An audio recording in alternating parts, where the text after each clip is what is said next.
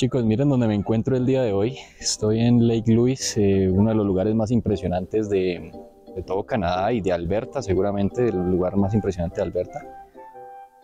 Miren esa vista tan increíble. Y bueno, ya es como la décima vez que vengo acá. Ya he venido varias veces y no dejo de impresionarme nunca. Eh, nada chicos, en esta oportunidad pues quiero hablarles un poco acerca de mi historia laboral acá en Canadá eh, mientras camino un poco por este lugar, irles mostrando pues eh, cómo luce este lugar tan maravilloso y bueno, irles contando más o menos cuánto me he ganado en todos mis trabajos que he tenido acá en Canadá, cuáles han sido esos trabajos, sí, cómo, cómo digamos ha, ha ido pues evolucionando la cosa desde que llegué hasta el trabajo actual como administrador de datos. Entonces, pues, pues nada, vamos a, vamos a ello. Miren chicos, en esta época del año todavía no se ha descongelado el lago y eso que ya está haciendo bastante calor. Esta semana estuvo toda la semana a 25 grados, incluso incluso miren que acá en Lake Louise todavía está congelado y la gente pues pues pasa ahí a caminar. Supongo que el hielo está todavía lo suficientemente grueso. Pero está bien, está bien chévere. Incluso, incluso así, obviamente cuando está descongelado es mucho, mucho más bonito, pero incluso así es impresionante. Bueno chicos, entonces el, primer, primer, primer, primer trabajito que tuve acá en Canadá, eh, bueno, yo estaba estudiando en ese entonces, era estudiante de maestría, pero pues eh, cuando uno es estudiante, que uno está estudiando acá con permiso de estudio, tiene permitido también trabajar medio tiempo, trabajar máximo 20 horas a la semana. Y yo me conseguí un trabajito en invierno para paliar nieve. Ese fue mi primer trabajo. Y eh, bueno, me ganaba, era por trabajo completado, no era digamos por hora. Y era, era 30 dólares, 30 dólares por limpiar las entradas de las casas, eh, digamos, del vecindario donde yo vivía. Pagaban 30 dólares y muchas veces, digamos, yo lo hacía más que todos los fines de semana, iba, pues, tenía mi pala de nieve, y hubo algunos fines de semana que me hacía 200, 300 dólares en un solo fin de semana, lo cual estaba bastante bien. Y pues ese, ese era un trabajo que eh, realmente no era, o sea, era cash pay, si no era esto, estamos declarando impuestos ni nada de eso. Entonces, bueno, todo ese dinero pues me quedaba libre. Ya saben que acá pues en Canadá eh, pues se paga bastante de impuestos, ¿sí? Una gran tajada de lo que uno gana se van impuestos. Eh, sin embargo, hay trabajos que también son cash paid y digamos de construcción, de más que todo en eso, digamos podando césped, en limpieza, ese tipo de cosas. Eh, y bueno, paliar nieve es uno de esos trabajos en los cuales esto te pagan así en efectivo, ¿sí? no, no declaras impuestos ni nada, ¿sí? o sea, no, no pagas impuestos sobre ese, ese income que te llega. Miren, ahí dice precaución, hielo delgado y la gente, la gente allá caminando. ¿Sabe? No, no, no les importa un comino. El segundo trabajo, muchachos, que yo tuve acá en Canadá fue en la ciudad de Montreal, Quebec. ¿sí? Una de las ciudades más bonitas que he visitado en mi vida. Y bueno, ese fue un trabajo en el cual, eh, bueno, yo empecé descargando tractómulas, descargando camiones. Era básicamente sacar las cajas de los camiones y ponerlas en paletas. Y mm, bueno, era una empresa que básicamente lo que hacía era importar ropa de invierno, más que todo guantes, chaquetas de invierno. Les ponían pues acá la marca, el logo, sí, los empacaban, ¿ya? Entonces muchas veces también me tocaba, digamos, empacarlos, separarlos por, separar toda la ropa, digamos, por talla, ponerlas en cajas, ¿sí? Entonces era un trabajo muy físico, trabajo muy físico, de estar moviendo objetos, de estar parado todo el tiempo, de estar, por ejemplo, poniendo, como les dije, poniendo logos, poniendo estampillas en las diferentes prendas de ropa.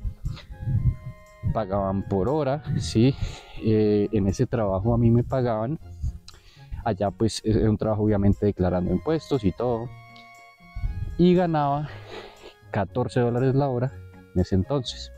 Y fue un trabajo que tuve solamente tres meses. Ahora, lo interesante, y acá sí quiero que, presten mucha atención, esto es que en esa misma empresa me dieron la oportunidad eh, de ascender, de tener, digamos, un mejor trabajo y pude empezar a trabajar como asistente de compras. Ya era un puesto más administrativo, un puesto de oficina. Sí, yo, pues básicamente le pasé mi hoja de vida al presidente de la empresa. Sí, eh, le gustó bastante. Sí, por, también por el dominio de los idiomas, por los estudios, porque yo hice la, la maestría en Calgary. Y, le gustó y bueno, en ese momento pues estaba la oportunidad, estaba la vacante de, de, asistente de compras. Esto, y lo tomé, lo tomé y estuve trabajando pues en ese puesto aproximadamente seis meses, sí, ya me subieron el salario, ya ganaba 18 dólares la hora y la verdad que fue un trabajo bastante, bastante bueno. Eh, pesado, pesado, era básicamente controlar parte del inventario de la empresa, eh, tenía que estar pendiente, bueno, de, las purchase orders, de las órdenes de compra, sí, básicamente todo lo que los empleados necesitaban, que si necesitaban elementos de oficina, eh, poner las órdenes de compra con los proveedores de Asia, sí, em, manejar el software de la empresa, del inventario, sí, cuando sale algo del inventario, cuando entra algo del inventario. Entonces, digamos, hacía resumidas cuentas, eso es lo que hacía, ¿ya? Un trabajo de 8 de la mañana a 5 de la tarde, allá en la zona de Saint Laurent de Montreal. Em, digamos que fue el primer trabajo que tuve así como, como ya un poquito más profesional, ¿sí? Acá en Canadá. Entonces, fue una buena experiencia. Y repito, fue en la misma empresa en la que empecé a, a descargar cajas. Pues ahí me dieron la oportunidad y pues ahí puede seguir creciendo. Sí, eso es algo que es muy común acá en, en Canadá, dan la oportunidad a las personas pues de, crecer en la misma empresa. Miren muchachos, ese es el Hotel Fairmont. Fairmont ahí está justo al lado de Lake Louise. hotel increíble, hermosísimo y miren el, todo el lago congelado. Es grandísimo, grande, grande, grande. Todavía hay bastante, bastante nieve en la montaña chicos, y bueno, después de eso, em, el trabajo que tuve fue de coordinador de logística, que fue ese vendría siendo ya el tercer trabajo que tuve acá en la ciudad de, digo, eso también fue allá en Montreal em, y en la misma empresa. Resulta que, bueno, yo tuve también la fortuna de que llegó un colombiano, sí, un colombiano, recuerden que yo soy colombiano, em, a trabajar allá en la empresa como director del departamento de logística. ¿sí? Yo me hice bastante amigo de él y, bueno, pues también este, necesitaban, tenían la vacante para ser coordinador de logística, me la ofrecieron, ya digamos que yo tenía un, un poquito más como perfil para eso.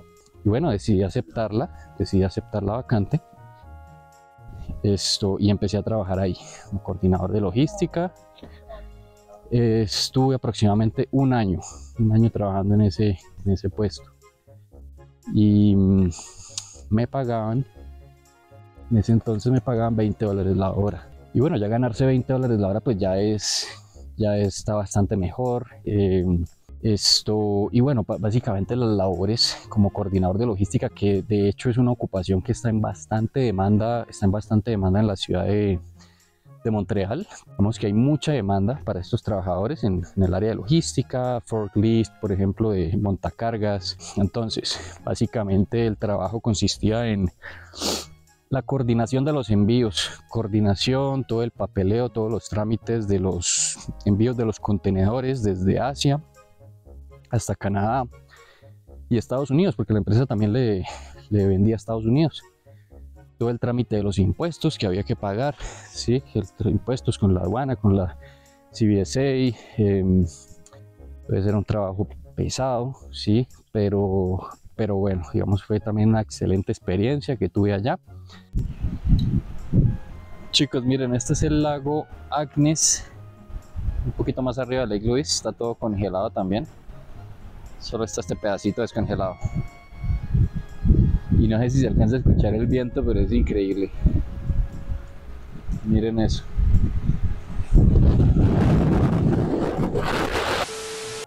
Chicos, y bueno, el último trabajo que tuve, bueno, mi trabajo actual es esto, ya lo había mencionado, pues como administrador de datos. Em, que bueno, pues tuve la fortuna de conseguir tan pronto, llegué a Calgary nuevamente en enero del 2022, sí, el año pasado. Y bueno, en ese trabajo mi salario es de 27 dólares la hora. 27 dólares la hora que, bueno, realmente acá, eh, cuando ustedes lleguen a Canadá se van a dar cuenta que acá realmente se habla más de salario anual. Aunque bueno, muchas empresas obviamente las que pagan por hora, pues sí hablan de salario por hora, pero digamos ya para trabajos más profesionales eh, se habla en general de, salario anual, ¿sí? Entonces eso equivale aproximadamente, yo me gano 67 mil dólares em, por año, eso es antes de impuestos, ¿vale? Eso es antes de impuestos, después de impuestos, recuerden que acá el, el gobierno se queda con una tajada, es aproximadamente como 49 mil dólares, casi 50 mil dólares, dinero que va al bolsillo, ¿no? Después de impuestos. Entonces, sí, en eso llevo trabajando ya casi año y medio, ¿sí? Y bueno, son básicamente muchas labores de, programación, administración, de datos, ¿sí? Administro todos los datos de la empresa, ¿ya? Em, mucha matemática, modelos, modelos matemáticos, modelos de predicción. Em, la, empresa lo que hace es eh, fabricamos bombas de energía solar, ¿ya? Em, más, más que todo para empresas petroleras, ¿sí? Cambiamos estas bombas que tienen las empresas petroleras que emiten gases de efecto invernadero y las reemplazamos por bombas de energía solar.